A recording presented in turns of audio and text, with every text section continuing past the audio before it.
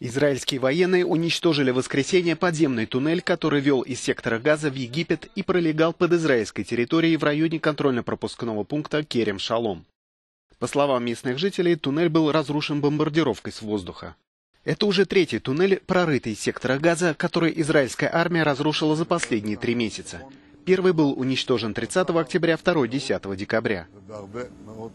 По словам премьер-министра Израиля Беньямина Нетаньяху, туннель был построен исламистским движением «Хамас» и предназначался для нападения на Израиль.